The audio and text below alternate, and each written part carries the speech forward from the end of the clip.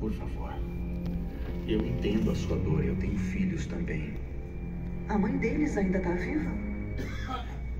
Sim. Ótimo. Então vai restar alguém para cuidar deles. Wanda, o raio negro pode destruir você com um suspiro de sua boca. Que boca?